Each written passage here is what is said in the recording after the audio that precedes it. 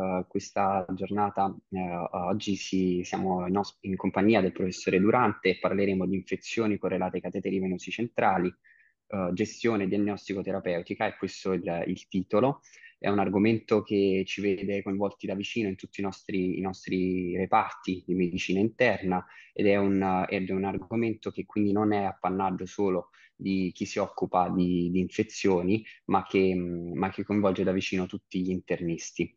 Uh, introduco il, il, professore Durante che uh, per chi non lo conoscesse è un professore associato e docente di medicina interna presso l'Università della Campania Luigi Vanvitelli, direttore del reparto di medicina interna infettivologica e dei trapianti a cui fa riferimento il servizio di consulenza infettivologiche dell'ospedale Monaldi di Napoli, che per darvi l'idea è un ospedale di 400 posti letto con più di 40 uh, posti di terapia intensiva, uh, divisi tra terapia intensiva post-operatoria, cardiorespiratoria, cardiochirurgica, UTIC, la dialisi e un servizio di accessi vascolari.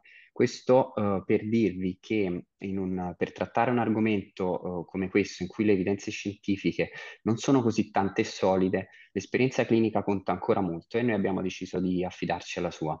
E detto questo, non rubo altro tempo e cedo la parola al prof. Vi ricordo solo che al termine lasceremo un breve spazio per, per le domande che potrete anche scrivere in chat. Prego, prof. Grazie Fabian. Ragazzi, salve a tutti.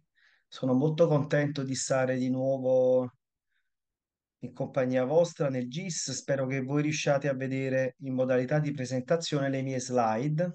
Sì, confermo, prof. Vede. Perfetto.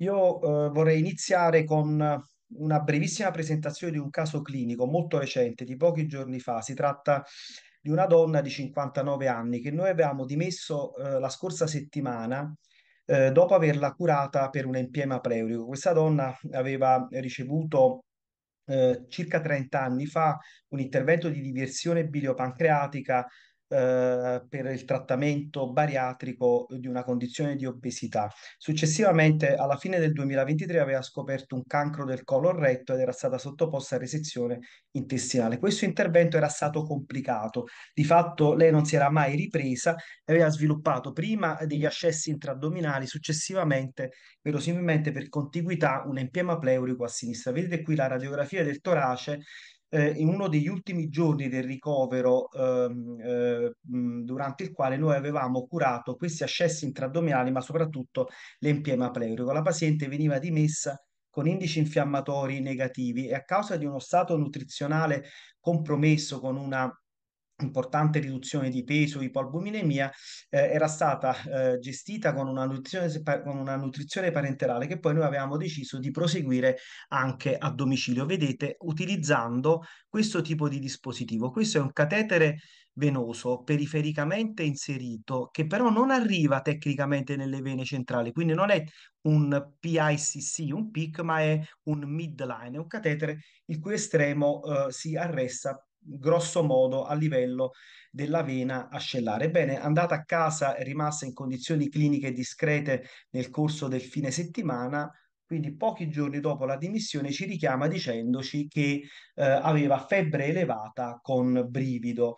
Chiaramente il primo mh, pensiero è stato verosimilmente dimessa con un tubo di drenaggio pleurico in assenza di terapia antibiotica, forse la terapia antibiotica per questa condizione non è stata sufficiente. Tuttavia, una volta ritornata eh, a valutazione, ci siamo immediatamente resi conto che eh, la paziente aveva in sede un catetere venoso, non tecnicamente un catetere venoso centrale, ma assimilabile ad un catetere venoso centrale. Per questo motivo abbiamo deciso in assenza di qualsiasi specifica condizione clinica che potesse aiutarci e suggerirci eh, la natura dell'infezione, la paziente non aveva dolore toracico e il liquido di drenaggio era estrema, da, dal cavo previo estremamente scarso, decidiamo di effettuare un'emocoltura da vena periferica, una emocoltura da vena centrale, o meglio da questo catetere venoso semicentrale, e poi decidiamo di rimuovere immediatamente il catetere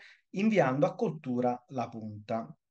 Il giorno dopo il laboratorio di microbiologia ci chiama e ci dice è tutto positivo. Allora noi chiediamo di effettuare una diagnostica microbiologica rapida per cui su un piccolo campione prelevato dal barattolo di emocoltura viene effettuata una multiplex PCR, vedete, eh, viene rilevato, questo eh, sostanzialmente alle 10 del mattino avevamo già questa risposta, uno stafilococco, in particolare uno stafilococco aureo, apparentemente non caratterizzato dall'espressione del determinante di resistenza che prevalentemente si associa a meticillino resistenza, cioè il gene MEC. Per cui facciamo una diagnosi presuntiva di eh, batteriemia catetere correlata da stafilococco aureo meticillino sensibile. Il giorno dopo pervengono i risultati delle emocolture. Sangue periferico, stafilococco aureo, vedete, sensibile a tutto. Un attimo che metto il puntatore. Mm quindi sostanzialmente suscettibile a quasi tutti gli antibiotici, stesso identico antibiotipo per la emocoltura eh, da eh, catetere, quindi sangue centrale, diciamo da vena ascellare, e stesso identico isolamento stafilococco aureo dalla punta del catetere venoso centrale. Vedete con una concentrazione di batterio superiore a 1000 unità formanticolonie per ml. Su questo punto ritornerò tra un momento. Se vogliamo occuparci in maniera seria di questa condizione delle infezioni dei cateteri venosi centrali, dobbiamo conoscere i differenti cateteri e riconoscere anche che ciascuno tende ad avere un differente tasso di infezione. Quelli che sono sicuramente più utilizzati anche in ambito internistico sono come detto, i peripheral inserted central catheter sono cateteri monolume lunghi diciamo più di 20 cm, ma in genere circa 30-40 cm, il cui estremo prossimale fuoriesce a livello del braccio o della piega del gomito, e il cui estremo distale invece perviene fino al livello della vena cava superiore, alle volte a livello dell'atrio destro. Sono utilizzati prevalentemente per infusione di farmaci che richiedono una uh, infusione all'interno di un vaso centrale, quindi chemioterapici, ma anche per terapie importanti da un punto di vista della potenziale lesività del vaso oppure del volume da somministrare oppure ancora eh, per eh, effettuare nutrizione parenterale totale continuativa in soggetti con gravi forme di malassorbimento. Altro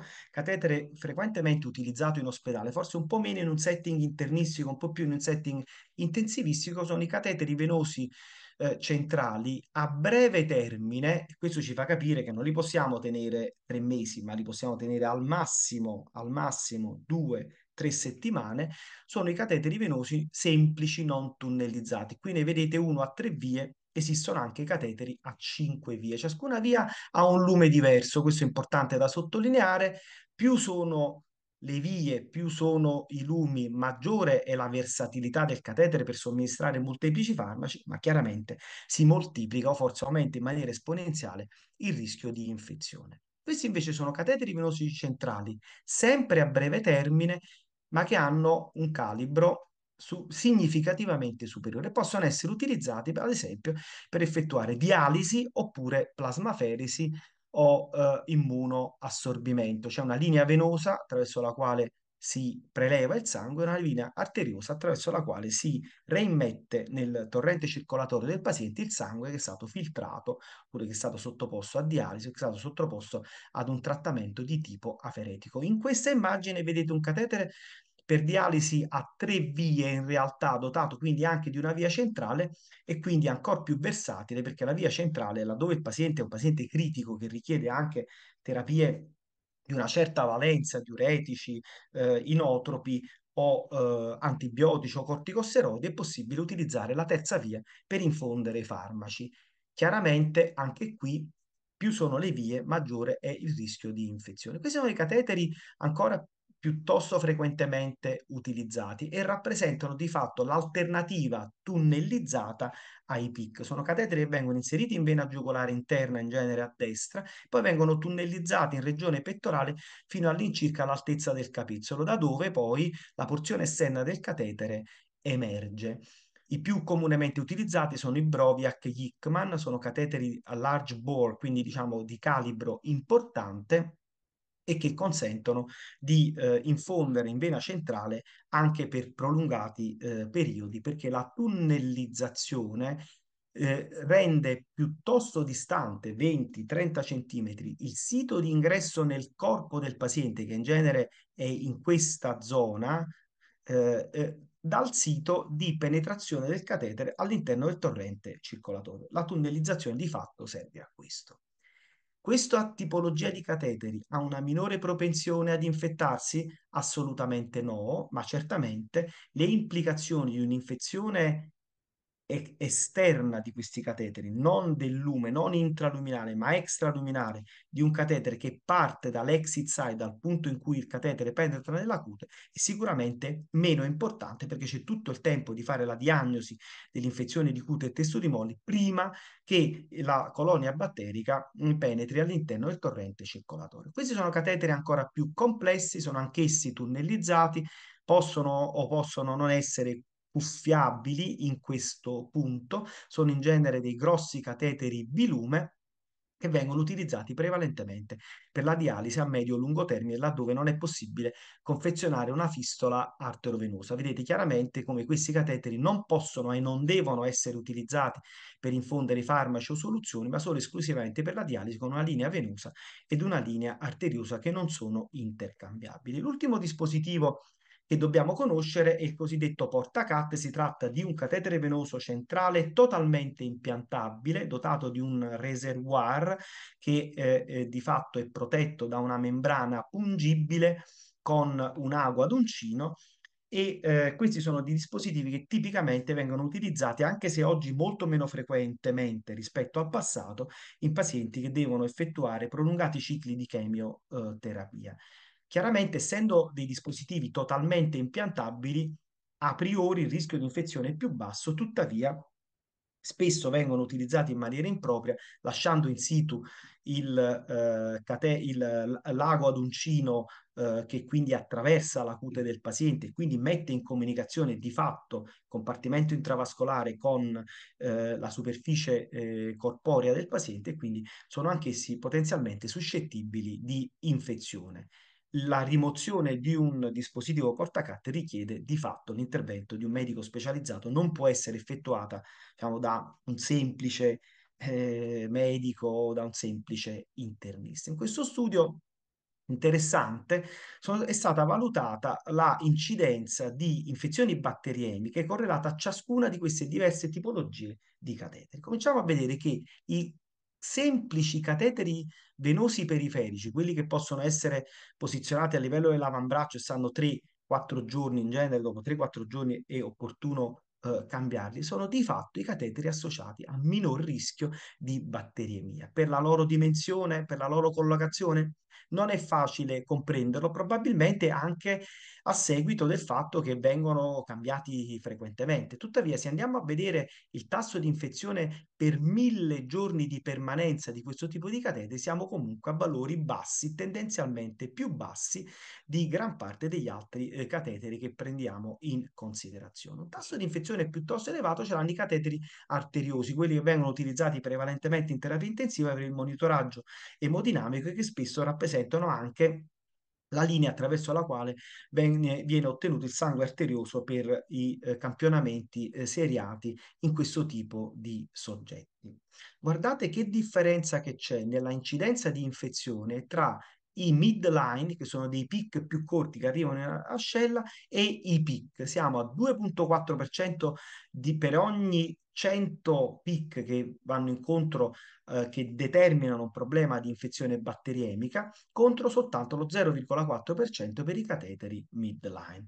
L'incidenza di infezione sale invece in maniera significativa quando prendiamo in considerazione i cateteri venosi centrali a breve termine. Siamo al 4,4% dei eh, cateteri con una significativa eh, proporzione incidenza di casi per mille eh, eh giorni di permanenza di questi cateteri nel compartimento intravascolare.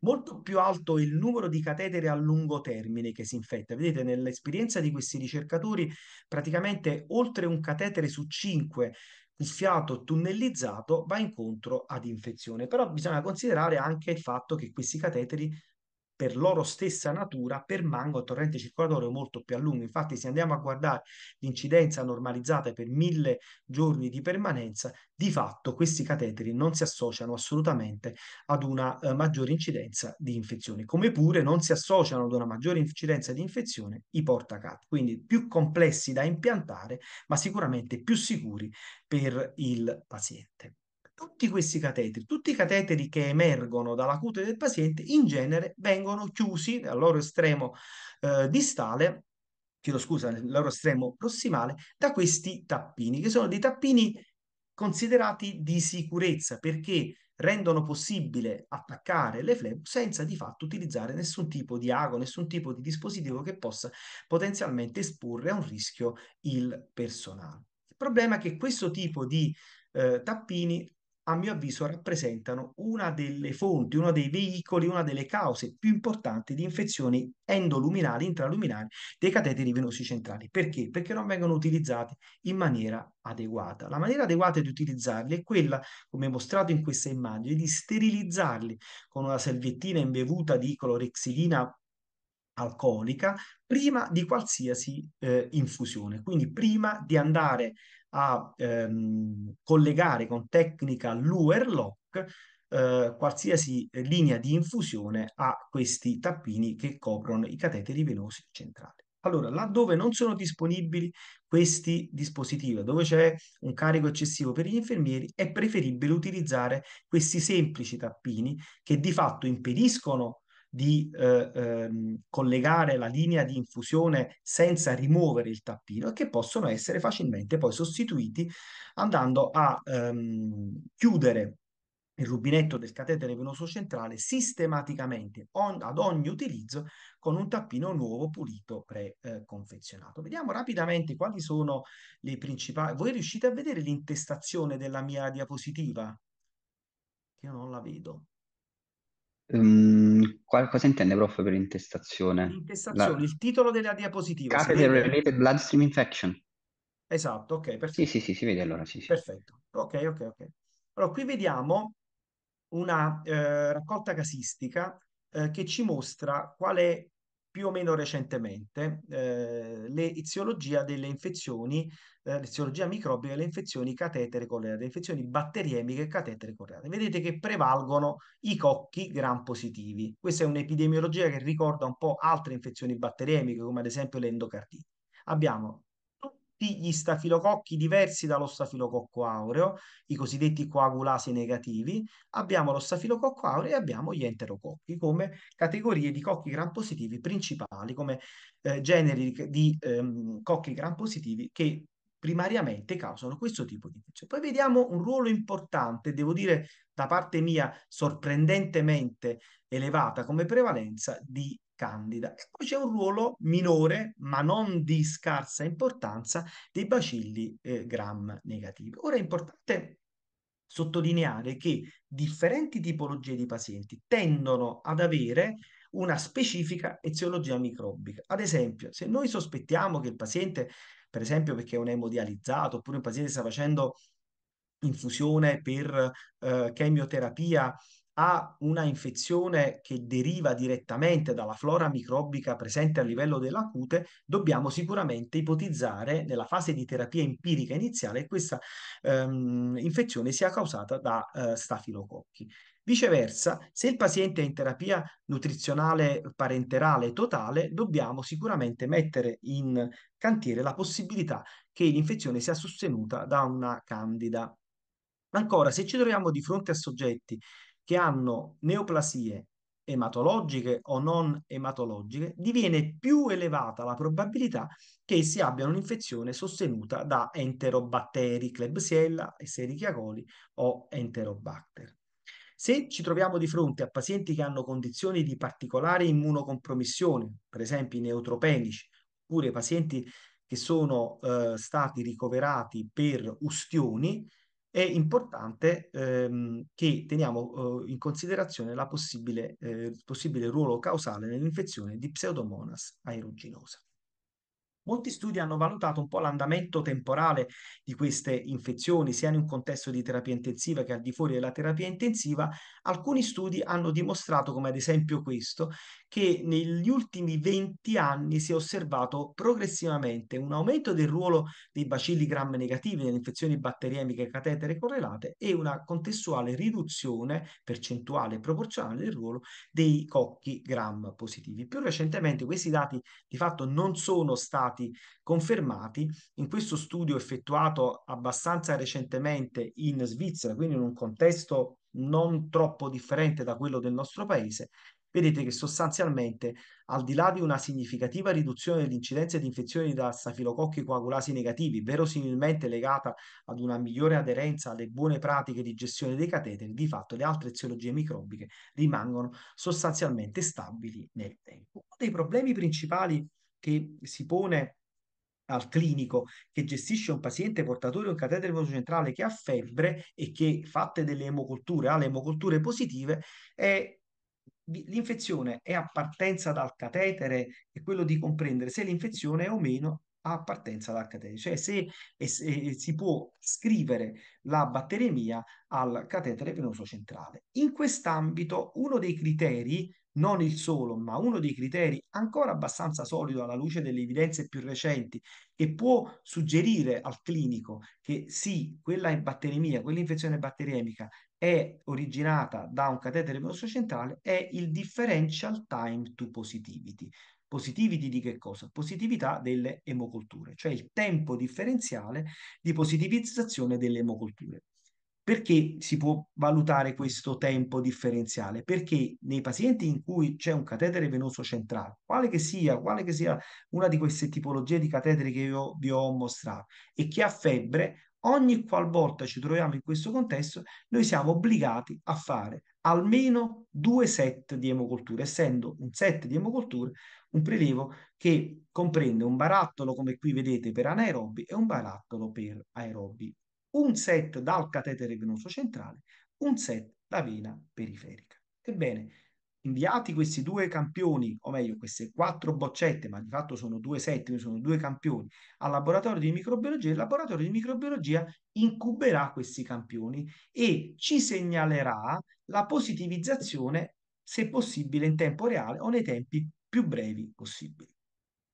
Quasi sempre, quando l'infezione origina a livello intraluminale dal catetere venoso centrale, l'emocoltura ottenuta dal catetere venoso centrale si positivizza prima dell'emocoltura ottenuta da vena periferica. Ora, se l'intervallo temporale che vi è tra la positivizzazione di questa emocoltura e la positivizzazione di questa emocoltura è superiore o uguale a due ore, su questa base noi possiamo fortemente sospettare che l'infezione si origini dal catetere venoso centrale. In realtà questo dato è emerso molto tempo fa da uno studio importante pubblicato su Lancet nel lontano 1999, era stato effettuato in una unità di terapia intensiva, quindi in un setting un po' diverso da quello medico, internistico o anche eh, di medicina d'urgenza, e in un ospedale che era un centro di riferimento per la terapia delle neoplasie. Quindi, diciamo, facciamo attenzione a quando vediamo dati provenienti da studi che non sono stati effettuati in un contesto clinico che è simile a quello nel quale operiamo, facciamo attenzione a traslare automaticamente nella nostra pratica clinica i risultati di questi studi. Erano stati rimossi 93 cateteri, a tutti i pazienti erano state fatte simultaneamente emocolture dal catetere e dalla vena periferica e sostanzialmente il differential time to positivity di queste coppie di colture era significativamente più alto in pazienti che avevano una documentata infezione catetere correlata, con una significatività statistica abbastanza evidente. Qual è il gold standard in questo studio? La positività della cultura del catetere una volta rimosso. Sulla base dei dati di questo studio viene identificato questo cut-off di due ore di 120 minuti, per cui alla luce di questo cut-off si ritiene che vi sia una specificità superiore al 90%, una sensibilità ben superiore al 90% e la diagnosi di eh, infezione batteriemica possa essere considerata l'infezione catetere correlata. Ci sono tuttavia alcuni problemi. Il primo, abbiamo parlato di cateteri a due o a tre lumi e allora quando noi ci troviamo a dover fare un'emocoltura da catetere, quale lume dobbiamo scegliere? Nessuna linea guida, nessuna expert opinion, nessuna raccomandazione ci guida nella scelta. In linea teorica, se dobbiamo ragionare, noi dovremmo effettuare in un catetere a due o a tre lumi tre set o due set di emocolture, un set da ciascun lume del catetere, perché se un catetere è infetto a livello intraluminale, potrebbe essere infetto soltanto a livello di uno dei lumi, ma non necessariamente a livello di, di, di altri lumi. E inoltre è importante sottolineare che non per tutti i microorganismi ha valenza realmente il concetto della predittività del differential time eh, to positivity. E questo dato è emerso in maniera molto chiara da uno studio molto più ampio e molto più generalista di pazienti con infezione batteriemica portatori di catetere eh, venoso centrale. Vedete, in questo studio, al termine del workup, c'erano 500 e più episodi inclusi nell'analisi, circa il 60% dei pazienti rientravano in una diagnosi di batteremia catetere correlata, il restante 41% batteremia epidemia non catetere correlata. Se andiamo a guardare alle diverse condizioni di rischio, l'unica che si associa positivamente alla forma catetere correlata è l'emodialisi, ma che era una condizione, vedete, osservata soltanto in una sparuta minoranza di pazienti inclusi in questo studio. Viceversa, gran parte delle altre condizioni, per esempio la presenza di cirrosi epatica, ad un trapianto d'organo sodio, shock settico, si associavano ad una batterimia non catetere correlata. Altro dato interessante emergeva da questo studio, vedete, è relativo alla mortalità a 30 giorni, quindi una mortalità precoce ospedaliera, significativamente più bassa quando la batterimia è partenza da un catetere venoso eh, centrale. Eziologia microbica è invece significativamente diversa. Vedete che prevalgono le forme catetere correlate, i coagulasi negativi e lo stafilococco aureo, tendono ad essere invece molto più eh, importanti i patogeni che albergano fisiologicamente nel, eh, nel tubo digerente come Escherichia coli, Klebsiella ed Enterococchi nelle forme non catetere correlate questo studio emerge un dato abbastanza chiaro che voi vedete, e cioè che il differential time to positivity era molto più ampio nei soggetti con forme catetere correlate rispetto ai soggetti con forme non catetere correlate. Ma questa differenza non era valida per tutti i patogeni, come potete vedere in questa curva ROC, che è la curva che descrive la predittività diagnostica del test la presenza di un differential time to positivity superiore a due ore nei confronti di una diagnosi di eh, batteremia catetere correlata. Vedete che cumulativamente l'area sotto la curva, la, la, la, la linea nera, è piuttosto scarsa e piuttosto bassa e in particolare la predittività del differential to positivity è piuttosto elevata e direi molto eh, statisticamente significativa soltanto per lo pseudomonas aeruginosa e per alcune forme eh, antibiotico resistenti di enterobatteri, mentre invece non lo è significativamente per gli enterococchi, per lo stafilococco e per i coagulasi negativi. Questo studio ci insegna sostanzialmente che noi sia pure nel legittimo tentativo di semplificare il ragionamento diagnostico, non possiamo dire differential time to positivity maggiore di due ore equivale infezione catetere correlata e quindi andiamo a togliere questo uh, catetere. Pertanto è importante sottolineare che un test negativo, cioè un test nel quale non c'è la differenza, questo è ancora più importante, quindi da un lato non dobbiamo correre a togliere il catetere se non abbiamo certezze. Dall'altro, se il differential time to positivity è inferiore a due ore, noi non siamo in grado in questo momento di utilizzare questo elemento per escludere l'infezione catetere correlata, almeno quando le emoculture sono positive per stafilococchi, coagulasi negativi e per enterococchi. Ci sono degli altri criteri, tuttavia, direi molto clinici, molto clinicamente rilevanti, che noi possiamo utilizzare per orientarci sulla, um, sulla genesi uh, della batteremia uh, a partenza da un catetere venoso centrale. Uno di questi è la febbre che consegue all'utilizzo del catetere, una cosa che noi osserviamo abbastanza frequentemente dei pazienti emodializzati. Il paziente emodializzato tipicamente dializza tre volte a settimana e spesso ogni volta che dializza, nelle ore successive, in genere quando è già tornato al proprio domicilio, ha dei brividi, ha un rialzo febbrile. Non dobbiamo attenderci necessariamente un quadro clinico eclatante in questi eh, soggetti. Ora, il fatto che questi soggetti siano apiretici nell'intervallo interdialitico e abbiano degli episodi febbrili poco dopo la seduta dialitica ci deve suggerire la possibile presenza di un infezione del catetere. Questo lo possiamo osservare non soltanto negli emodializzati, ma anche ad esempio nei soggetti che fanno chemioterapia il soggetto va in ospedale, fa la dose di chemioterapia, fa il lavaggio del portacat, torna a casa alla febbre. Poi successivamente, nei giorni successivi, la febbre regredisce e non c'è più problema per poi osservare di nuovo l'episodio febbrile alla successiva infusione di chemioterapia. Questo chiaramente è un criterio sensibile dal punto di vista diagnostico, ma sicuramente non lo possiamo considerare altamente eh, specifico.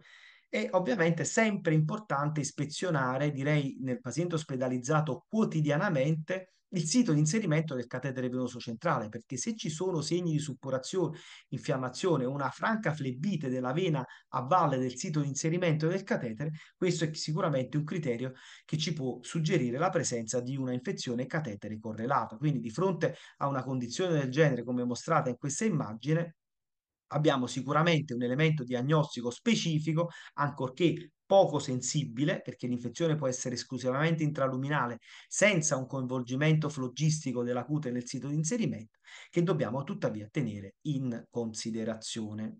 Questo è un altro criterio a cui io do molta valenza, molta importanza. Cioè spesso capita che soggetti con episodi febbrili ricorrenti di dubbia eh, genesi abbiano si, ripetutamente emoculture positive per lo stesso microorganismo. Ora, se un soggetto ha un catetere venoso centrale che viene ritenuto e a distanza di settimane o di mesi ha batteriemie per, sostenute dallo stesso microorganismo, noi dobbiamo necessariamente eh, sospettare in maniera forte che la sede di localizzazione primaria del microorganismo sia il catetere venoso centrale. Questo è un esempio in un paziente visto da noi vedete che a luglio all'emocoltura positiva di Staphylococcus epidermis, ad agosto, diversi giorni dopo, continua ad avere l'emocoltura positiva per questo eh, microorganismo e poi la punta del catetere pure risultò positiva per lo stesso microorganismo. Questo è sicuramente un criterio diagnostico altamente specifico e anche altamente sensibile. È chiaro che la diagnosi definitiva viene dalla coltura che risulta positiva della punta del catetere rimosso e questa coltura può essere effettuata con un metodo quantitativo o, semo, o semi quantitativo. Il primo metodo, che è un metodo eh, di fatto eh, semi eh, quantitativo, è il cosiddetto metodo di Machi o roll plate. Si tratta di posizionare l'estremo distale del catetere rimosso che viene inviato in laboratorio a secco, ma deve essere eh, diciamo, portato in laboratorio rapidamente, lo si fa rotolare 3-4 volte a destra e a sinistra su una piastra di preti. Successivamente si vanno a contare le colonie e si verifica se c'è un um, eh, numero di colonie sufficiente da poter eh, mh, suggerire la presenza di una effettiva colonizzazione, eh, di un'effettiva infezione del catetere. Qual è il problema di questa tecnica? Che tende prevalentemente a evidenziare batteri che sono stratificati esternamente al catetere, quindi un'infezione che ha avuto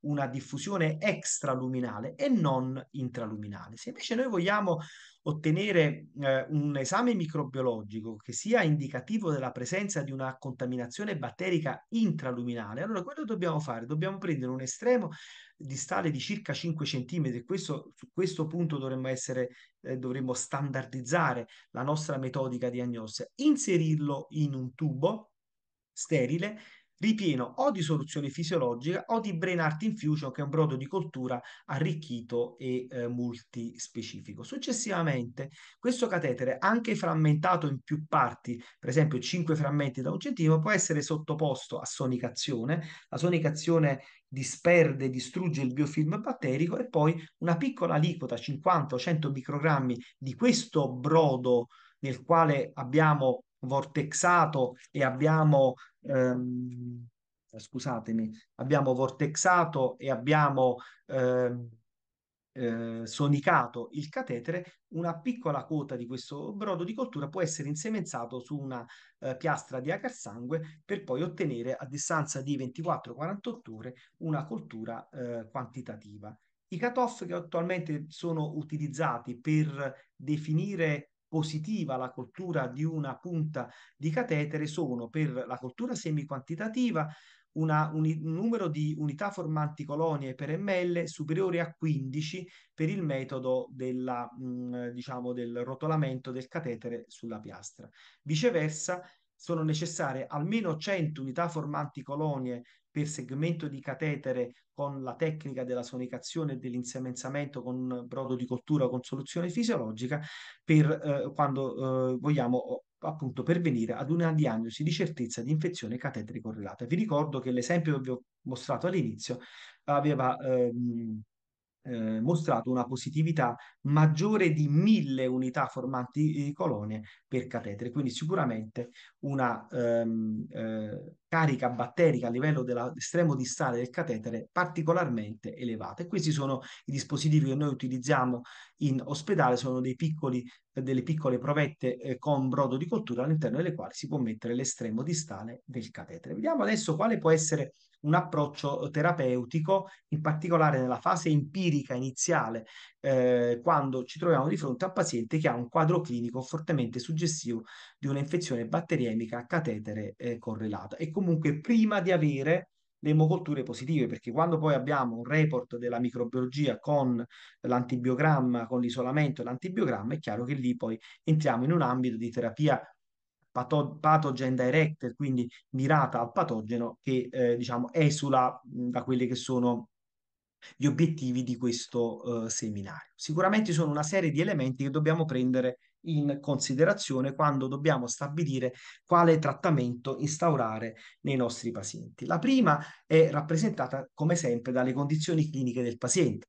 C'è una grossa differenza tra un paziente clinicamente stabile e un paziente che mostra segni e sintomi di sepsi. Nel primo caso, il paziente stabile potremmo teoricamente anche limitarci ad infondere fluidi e attendere la risposta della microbiologia per fare direttamente un trattamento mirato. Se il paziente è settico, la terapia antibiotica va instaurata eh, al più presto eh, possibile. Dobbiamo prendere in considerazione la presenza di comorbidità, in particolare malattia renale ed epatica, al fine di evitare l'utilizzo di farmaci antibiotici che sono tossici per questi reni, ma anche per stabilire in maniera più appropriata il dosaggio da somministrare al paziente. È molto importante fare nel singolo paziente la valutazione del rischio di infezione da microorganismo multiantibiotico resistente. Ritornando alla vignetta iniziale che vi avevo fatto, quella era una paziente che aveva fatto una prima chirurgia per eh, motivi oncologici, successivamente era stata rioperata a livello addominale per ascessi intraaddominali, poi aveva sviluppato un empiema pleurico, veniva da 14 giorni di terapia antibiotica per germi multiresistenti gram negativi, quindi è chiaro che quella era una paziente nella quale nel sospetto di infezione batteriemica eh, catetere correlata, non potevamo non prendere in considerazione la possibilità che ci fosse un germe multiantibiotico resistente e invece poi nella realtà è stato un germe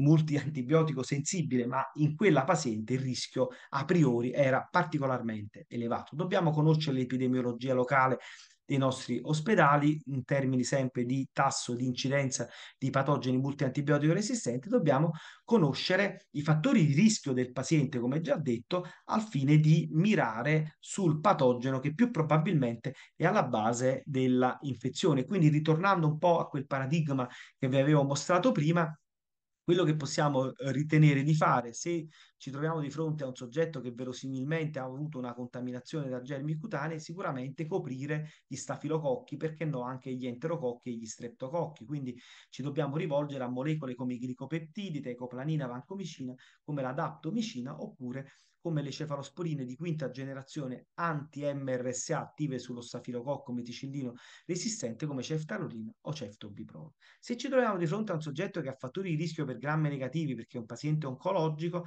e allora a seconda della gravità clinica dovremmo partire con un carbapenemico oppure con piperacillina tazobactam oppure con una cefalosporina di terza generazione. Se sospettiamo un'eziologia da pseudomonas perché il soggetto è neutropenico oppure è ricoverato a seguito di ustioni e allora per lo pseudomonas le molecole che possiamo utilizzare in fase empirica sono carbapenemi, piperatazzo e le cefalosporine terza e quarta generazione oppure anche il cettolozano tazobactam, che però è una molecola che noi tendiamo a utilizzare molto più in terapia mirata piuttosto che in terapia empirica. E poi nel soggetto che è in terapia eh, nutrizionale parenterale totale, dovendo coprire anche per il eh, microorganismo fungino una echinocandina come la nidula o la caspofungina, l'anfotericina biliposomiale e il fluconazolo possono essere opzioni terapeutiche da prendere in considerazione.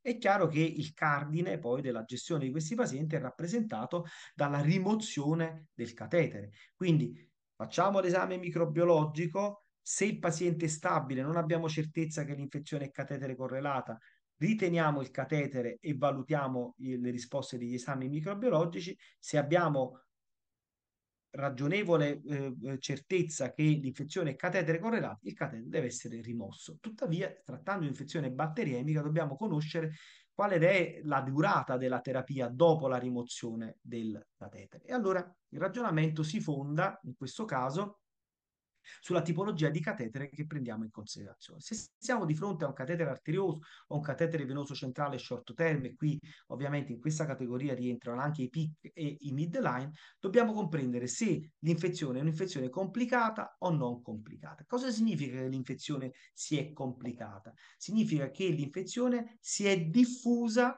ad altre strutture native che persistono ovviamente alla, eh, che, che, permangono eh, anche dopo la eh, rimozione del catetere venoso centrale. È il caso di soggetti che sviluppano a seguito della batterimia catetere correlata una tromboflebite settica, una endocardite, non soltanto, non necessariamente del cuore destro, anche del cuore sinistro, una osteomielite oppure ad esempio una spondilodiscite. In questo caso bisogna trattare i pazienti in genere per 4-6 settimane se c'è un'osteomielite verosimilmente anche per più tempo. Se invece la batteremia non è complicata, perché la febbre si risolve rapidamente una volta rimosso il catetere, il paziente non ha condizioni di rischio particolare, non ha una neoplasia maligna, non ha una condizione di immunocompromissione e non ha eh, corpi estranei a livello endovascolare, quindi non ha protesi, non ha pacemaker, non ha alcuna evidenza di endocardite o di una tromboflebite eh, suppurativa, e allora in questo caso, se il patogeno isolato è uno sta- eh, stafilococco aureo, dobbiamo trattare secondo le linee guida ancora correnti, perché non ce ne sono di più recenti, per almeno 14 giorni. Se invece ci troviamo di fronte a un coagulasi negativo, possiamo trattare anche per meno tempo, 5-7 giorni sono spesso eh, sufficienti. Se dall'emocoltura emerge un enterococco, trattiamo per 7-14 giorni, ma anche qui dobbiamo escludere l'endocardite, essendo enterococco germe tipico di endocardite. Se le emocolture risultano positive per bacilli gram negativi, trattiamo anche qui per una, due settimane. Se le emocolture sono positive per candida, trattiamo per almeno 14 giorni dopo la prima emocoltura eh, negativa eh, successiva alla rimozione del catetere. Questo concetto mi ricorda di sottolineare un aspetto molto importante. Nel momento in cui noi abbiamo rimosso il catetere iniziato una terapia, tranne che in casi particolari nei quali il paziente sta particolarmente bene come condizioni cliniche, può essere opportuno a 24-48 ore ripetere un set di emocoltura da vena periferica per documentare la clearance del sangue, il fatto che sostanzialmente il paziente non è più batteriemico. Teniamo presente che molto di questo algoritmo si basa su expert opinion, ma non invece su una robusta evidenza da trial clinici. Se invece l'infezione è correlata a un catetere a lungo termine e ad esempio è un'infezione che appare a noi da un punto di vista clinico complicata, così come abbiamo declinato precedentemente, c'è un'infezione anche del tunnel sottocutaneo, un accesso del sito di posizionamento del port, allora bisogna trattare per almeno 7-10 10 giorni l'infezione di cute e tessuti molli che esita alla rimozione del catetere. Se c'è una tromboflebite settica o un'endocardite osteomielite, la durata del trattamento, come abbiamo detto, è molto più lunga. Anche qui, per quanto riguarda le forme non complicate, la durata del trattamento si basa sull'eziologia microbica. Se eh, è isolato uno stafilococco aureo, attenzione, il trattamento è suggerito per 4-6 settimane, come se fosse una endocardite, come se fosse una tromboflebite settica. Se emerge un coagulasi negativo, il trattamento può essere più breve, 10-14 giorni. In caso di positività di emoculture per enterococco, la terapia va portata avanti per una o due settimane, similmente una o due settimane per i bacilli gram negativi. Il trattamento, la durata del trattamento per un'infezione da candida è sostanzialmente lo stesso, almeno 14 giorni dopo l'ultima emocultura positiva, a meno che non ci siano segni di localizzazione endovascolare della candida. Anche qui dati assolutamente non basati su robuste evidenze. Se ci troviamo di fronte a un catetere per dialisi tonnellizzato e il soggetto ha una febbricola, una febbre dopo l'utilizzo, allora effettuiamo le emoculture da catetere e da vena periferica, iniziamo terapia antibiotica e possiamo già partire con una lock therapy, cioè con una terapia nella quale andiamo a inserire piccoli volumi di eh, soluzione antibiotata associata anche ad eparina all'interno del lume del catetere dopo l'utilizzo. Se di fronte a questa condizione si ha una risoluzione rapida della batteremia o della fungemia nell'arco di uno o due giorni, sostanzialmente possiamo ritenere il catetere, mantenere il catetere a meno che non emerga dall'emocultura la presenza di eh, stafilococco aureo. In tal caso dobbiamo rimuovere il catetere venoso centrale, effettuare almeno una, eh, tre settimane di terapia antibiotica e poi effettuare un ecocardiogramma transesofageo per escludere che ci sia stata una localizzazione a livello delle valvole eh, cardiache. Se dall'emocultura emerge un ceppo coagulasi negativo, il trattamento deve durare almeno 10-14 giorni, si può pensare di ritenere il catetere venoso centrale oppure effettuare una cosa diversa, cioè sostituire su filo guida, quindi in maniera meno invasiva per il paziente, il catetere venoso centrale. Se dall'emocultura emerge la presenza di bacilli gram negativi, il trattamento è per 10-14 giorni, quindi vedete che quando il catetere è tunnelizzato in un soggetto emodializzato, la tendenza e a fare cicli di terapie più prolungati, anche qui si può provare a ritenere il catetere oppure a sostituirlo su filo guida. Diversa è la eh, situazione quando c'è una candida. C'è una candida, bisogna sempre sostituire il catetere centrale, eventualmente anche su filo guida, e somministrare poi una terapia antifungina per almeno 14 giorni. Se in un soggetto che ha iniziato una terapia antibiotica empirica più una lock therapy all'interno del catetere, si osserva una persistente batteremia, fungemia e febbre, allora bisogna rimuovere il catetere sempre e somministrare antibiotici per almeno 4-6 settimane andando a fare un workup diagnostico specifico per la eh, possibile eh, complicanza di infezioni metastatiche come la tromboflebite settica e l'endocardite. Se le emoculture invece risultano negative, si possono sospendere gli antibiotici e si mantiene ovviamente il paziente in follow-up. Anche questo algoritmo non è basato su um, eh, robusti dati eh, provenienti dalla eh, letteratura. Quando è che il catetere deve essere sempre rimosso? Quando il paziente si presenta con sepsi, c'è una tromboflebite settica con endocardite o quando la batteremia è persistente nonostante almeno 72 ore di terapia antibiotica empirica e mirata. Va sempre rimosso il catetere quando le emoculture sono positive per stafilococco aureo, pseudomonas aeruginosa, eh, funghi e micobatteri vanno sempre rimossi i cateteri venosi short term e quando le infezioni sono causate eh, in questo setting da gram negativi, da aureo, da enterococchi, da funghi e da micobatteri.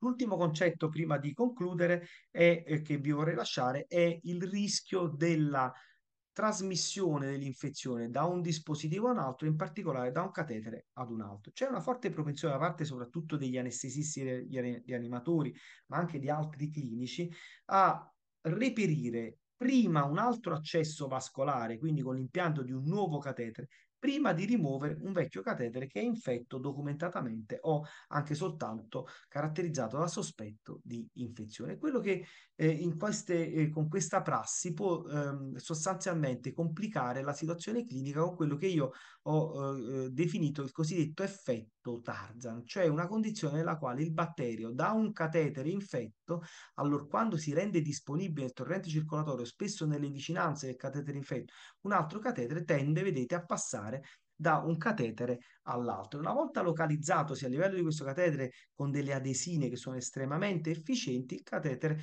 rapidamente si unisce, il batterio rapidamente si unisce ad altri microorganismi andando a formare una colonia ricca di biofilm. È quello che è accaduto recentemente in un paziente che abbiamo dovuto ricoverare proveniente dalla cardiochirurgia dei trapianti, il quale era in una fase di scompenso di una grave cardiopatia dilatativa, vedete anche portatore di un defibrillatore biventricolare, ed era continuamente trattato con inotropi per via endovenosa utilizzando cateteri venosi centrali che venivano ripetutamente cambiati. Veniva messo prima a destra, aveva l'episodio batteriemico con febbre, poi veniva messo un catetere a sinistra e veniva rimosso il catetere a destra. Vedete, questo è l'andamento dei suoi esami culturali, paziente ricoverato da ottobre fino a febbraio. Paziente ha ripetuti episodi di infezione batteriemica, sempre sostenuti da Staphylococcus epidermidis multi-antibiotico sensibile, fino a quando viene eh, ricoverato, trasferito nel nostro reparto, dove noi facciamo una cosa che teoricamente era la cosa giusta, cioè rimuoviamo il catetere venoso centrale e inseriamo un midline. Abbiamo visto i dati a supporto del fatto che questi sono cateteri che tendono a infettarsi un po' di meno. Questo soggetto continua ad essere batteriemico per lo stesso microorganismo. Vedete, ancora emoculture positive a distanza anche di 9 giorni dalla rimozione del CVC dall'impianto del midline, finalmente si decide di rimuovere anche il midline perché poi nel frattempo il paziente era migliorato da un punto di vista clinico e si ottiene una persistente, ancora oggi eh, persistente, negativizzazione delle emoculture. E mh, chiaramente noi ci muoviamo in un contesto nel quale i pazienti sono alle volte portatori non soltanto di cateteri centrali ma anche di altri dispositivi. Vedete, questa è una paziente che io ho curato che aveva impiantato una TAVI, a seguito dell'impianto della TAVI era andata in insufficienza renale acuta per cui aveva dovuto iniziare la dialisi con un catetere tesio, sempre a seguito dell'impianto della TAVI aveva sviluppato un blocco atrioventricolare completo che aveva richiesto l'impianto di un pacemaker. Questa signora Poco tempo dopo questa ospedalizzazione si presentò con una fase settica, con emoculture positive per stafilococco epidermis meticidino resistente, assenza di vegetazione sulla TAVI, sostanzialmente è deceduta eh, per le complicanze di questa infezione che aveva e, e coinvolto ehm, tutti e tre questi dispositivi a destra e a sinistra del cuore. La presentazione di queste infezioni CVC correlate può mimare quella di un'endocardite. Vedete, questo è un paziente con un'infezione CVC correlata che si presentò con noduli di Osler e lesioni di Janeway. E, mh, mi fermerei qui perché abbiamo fatto parecchio, ci sono ancora dei minuti che abbiamo a disposizione e avrei piacere di dedicare questi ultimi minuti, se voi siete d'accordo, ad eventuali domande. Grazie mille, prof.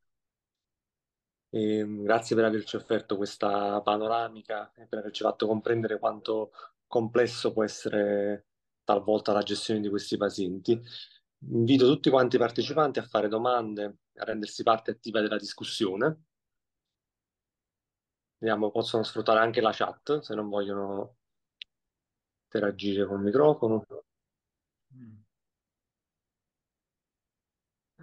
C'è già una domanda da parte di Simo, forse l'ha indirizzata soltanto a me, non so se tu la vedi, che mi chiede, quindi non è sempre mandatorio rimuovere il CVC o PIC o midline? Grazie. Allora, esistono dei contesti nei quali può essere almeno ritardato o non immediatamente rimosso il catetere venoso centrale. Innanzitutto paziente stabile, microorganismo non particolarmente virulento, ma magari paziente mh, con comorbilità molto significative che rendono ad esempio troppo rischioso il reperimento di un altro accesso vascolare. Facciamo un esempio, paziente che arriva scoagulato e portatore di una protesi meccanica ed è anche portatore di un catetere a lungo termine.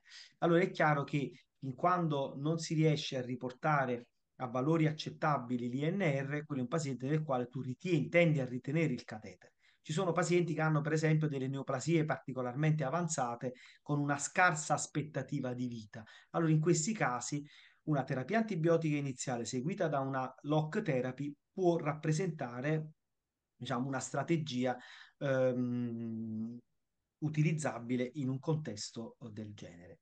In tutti gli altri casi, allora quando si prevede che sarà possibile successivamente al completamento dell'iter terapeutico reperire un altro accesso vascolare, è sempre preferibile rimuovere il catetere. Quando si decide di rimuovere il catetere, è bene rimuoverlo quanto prima, è bene rimuoverlo quanto prima. Una cosa che io ricordo sempre ai miei colleghi, se un soggetto arriva con un catetere venoso perifericamente inserito, ma eh, quindi per esempio con un picco, comunque con un altro tipo di catetere tunnelizzato, verosimilmente quello è un soggetto che non ha avuto utilizzo delle vene periferiche a livello degli arti superiori e degli arti inferiori. Quindi la probabilità che si riesca a reperire almeno per qualche giorno un accesso venoso periferico attraverso il quale fare terapia, anche fare un po' di nutrizione, in attesa di stabilizzare il paziente per poi reinserire a, a verificata eh, eliminazione del batterio dal sangue, quindi una volta verificate che le emoculture si sono negativizzate e reperire un nuovo accesso vascolare,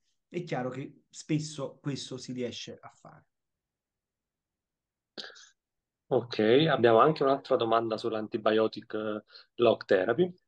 Eh, le viene chiesto se è, è una metodica, diciamo, terapeutica appannaggio esclusivo del- dei CVC per dialisi o se può essere anche utilizzata per altri tipi di CVC.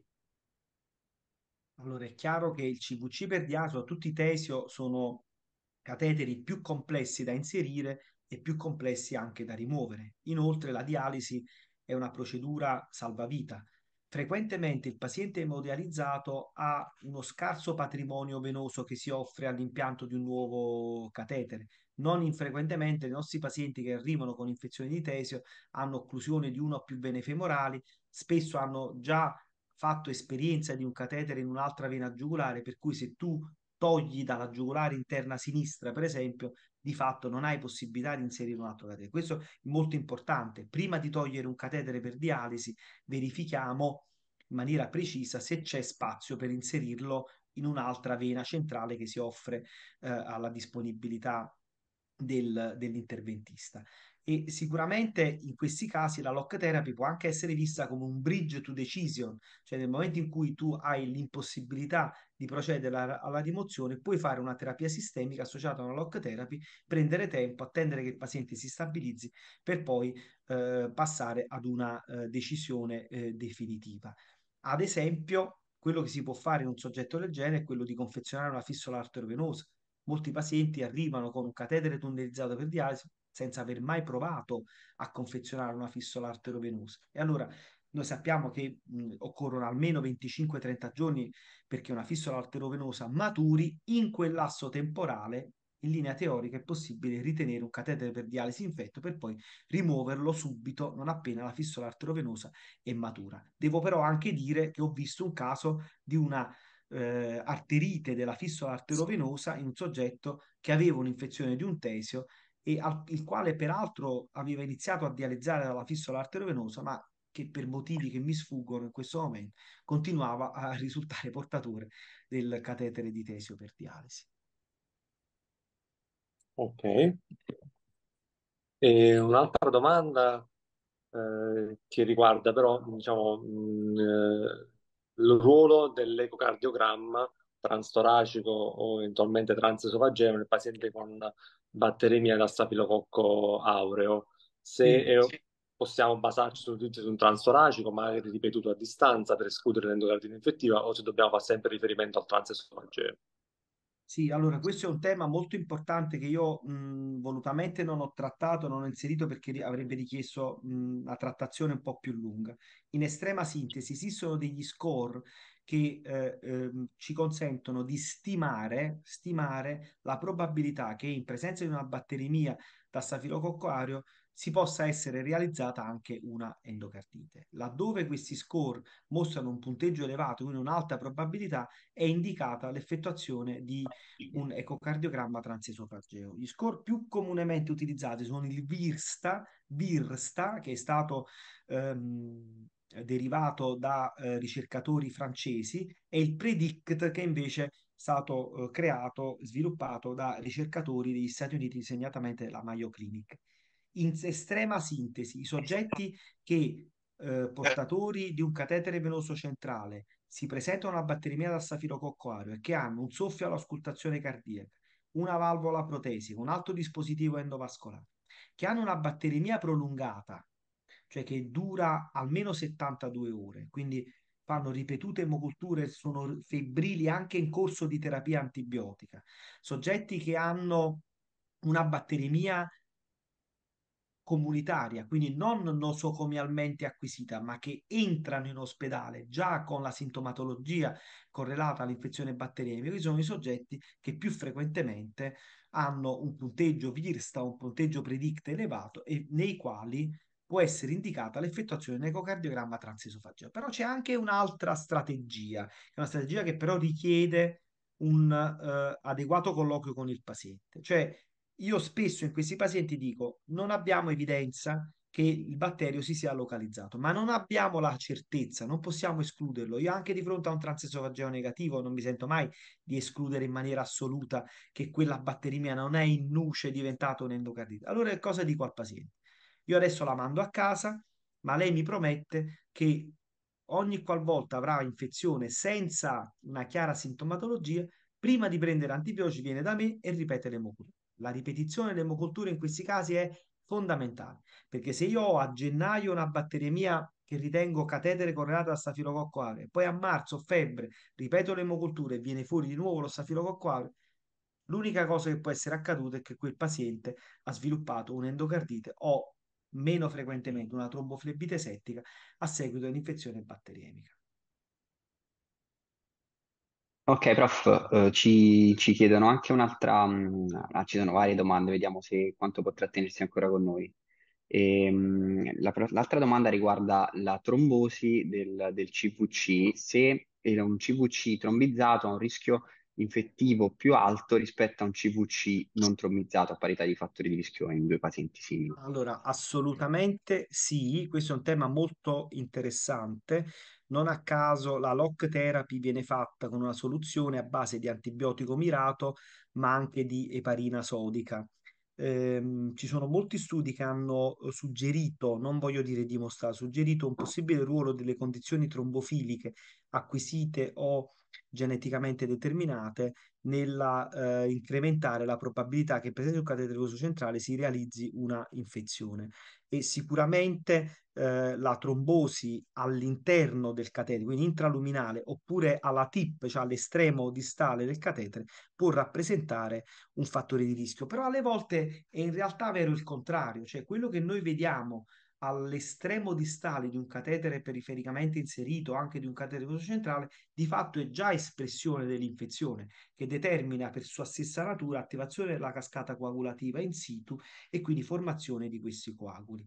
Ora, molti medici hanno ritrosia a rimuovere il catetere perché dicono ma qui c'è all'estremo del catetere c'è un trombo se io rimuovo il catetere, mi parte il trombo e il paziente mi sviluppa una embolia polmonare. Io credo che non ci sia nulla di più errato, diciamo, come atteggiamento. È chiaro che ci sono i casi estremi, i casi limite, i casi in cui ci sono le fungus balls, ci sono delle enormi trombi settici adesi a questi cateteri, ma nella stragrande maggioranza dei soggetti, anche in assenza di un ecocardiogramma, un ecocolor Doppler, si rimuove il catetere, il paziente se ne beneficia subito. Tu vedi che alle volte la mera rimozione del catetere di fatto determina lo, sfebramento. Per cui sicuramente c'è un ruolo importante della trombosi sia come conseguenza dell'infezione che come possibile concausa dell'infezione, ma nella stragrande maggioranza dei casi l'infezione nasce dalla parte extra cutanea e quindi extravascolare del catetere è un'infezione intraluminale legata all'errata maneggia, al, al, al, fatto che noi, che noi infermieri, noi medici maneggiamo in maniera errata questi dispositivi. Ok, grazie mille, prof. Abbiamo tempo per un'ultima domanda? Sì, sì, vai. Okay. Fino alle 6 e 10 mi posso trattenere se lo volete. Ok, ok. Allora, ci chiedono se nel caso di un catetere multilume è sempre necessario fare emoculture da eh, tutti quanti, diciamo, eh, i lumi diciamo, del, del catetere eh, più il periferico e poi come comportarsi in caso di positività di un singolo lume, se è sempre necessario rimuovere eh, l'accesso oppure si può tenere in sede. Sicuramente se è positivo un solo lume di due o di tre eh, c'è l'infezione, seguendo ovviamente i criteri che abbiamo detto, eh, eh, c'è verosimilmente infezione e quindi il catetere va rimosso, non puoi rimuovere un solo lume. Eh, anche un tesio, un momento in cui infetti un tesio, quasi sempre poi c'è la con- contaminazione anche dell'altra, dell'altra linea. Invece sulla prima domanda, cioè su quale linea prediligere, non ho assolutamente una risposta, non c'è nessuno che abbia focalizzato la propria attenzione anche da, con un approccio scientifico su questo tema. Dal punto di vista pratico, clinico, quello che io faccio, guardo all'emoglobina del paziente. Se mi trovo di fronte a un paziente che ha 8 di emoglobina, io gliene faccio una sola di un, un solo set scegliendo un lume eh, di, di emocoltura da catetere venoso centrale. Se il paziente invece non ha anemia, sperando che non sia talmente disidratato che è emoconcentrato, ma sostanzialmente in quel caso lì può essere opportuno fare i set ciascuno da, eh, da, da, un lume. Però quello che è importante sottolineare è che per ogni set vanno usati i due barattoli e il barattolo va riempito tutto. Quindi non è che fai 2 cc di sangue da ogni lume, fai la conta e il totale è 10 cc e quindi, e quindi diciamo, raggiungi quella quantità di sangue. Altrimenti la sensibilità del metodo si va a ridurre. Ok, prof, uh, ce n'è pronta subito un'altra. Uh, cosa ne pensa delle lock therapy sia profilattiche nei pazienti a rischio che in casi selezionati uh, con la taurolidina al 2%? Allora, non ci sono dati solidi a supporto di nessun tipo di decisione, sicuramente la profilassi non è eh, supportata da evidenze né con antibiotici né con la taurolidina eh, se c'è infezione e ci sono buoni motivi per ritenere il catetere, allora è possibile ehm, appunto avere un atteggiamento di tipo conservativo, ma c'è molta controversia sulla percentuale, per esempio, di successo terapeutico con la lock therapy. Diversi studi mostrano risultati molto discordanti, molto diversi. Quindi andiamo da studi che dimostrano eh, praticamente recidiva dell'infezione o persistenza dell'infezione nella totalità dei pazienti, altri studi invece con tassi di successo che superano il 50-60%. Eh, devo dire che io la uso pochissimo la lock therapy e come voi sapete e ehm, vedo intorno a me uno scarso utilizzo di questo approccio e questa cosa non mi dispiace affatto.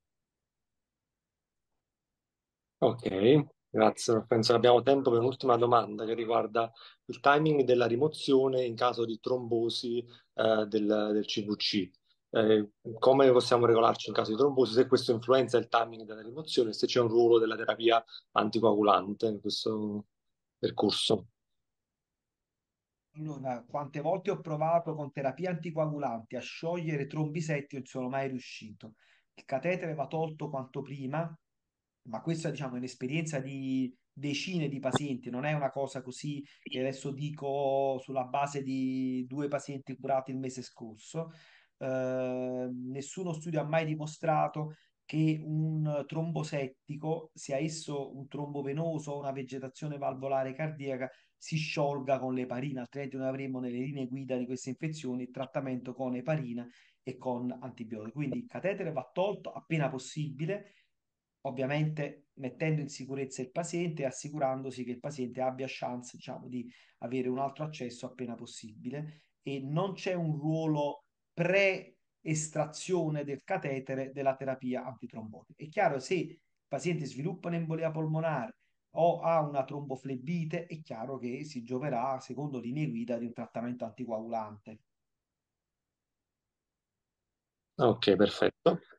Penso che ci possiamo fermare così abbiamo un po' abusato del suo tempo.